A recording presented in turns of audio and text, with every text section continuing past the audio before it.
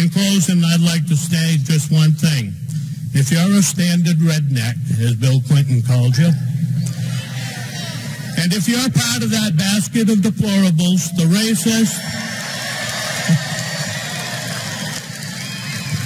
if you're the racist, the xenophobic, the homophobic, the Islamophobic, the Bible-thumping, gun-toting Trump crowd, God bless you people because I'm with you all the way.